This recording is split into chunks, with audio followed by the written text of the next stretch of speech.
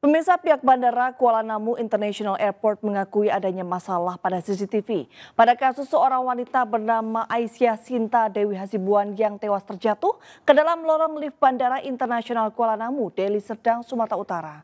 Atas peristiwa ini, keluarga berencana menuntut pihak Bandara Kuala Namu. Pasca viralnya video jatuhnya seorang wanita dari lift, akhirnya pihak Bandara Internasional Kuala Namu membenarkan bahwa jasad seorang wanita tersebut adalah Aisyah Dewi Hasibuan.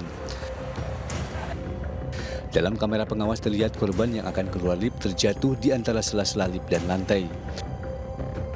Sebelumnya pihak keluarga sempat meminta melihat rekaman kamera pengawas, namun gambar tersebut sempat rusak.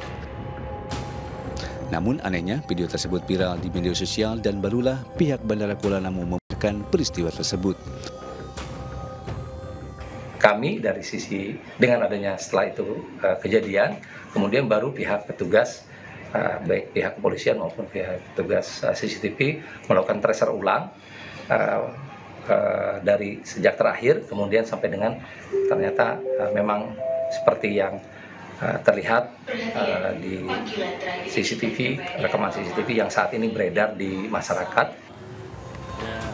Atas peristiwa ini pihak keluarga yang diwakili kakak kandung korban berencana akan menuntut pihak bandara Kuala Namu.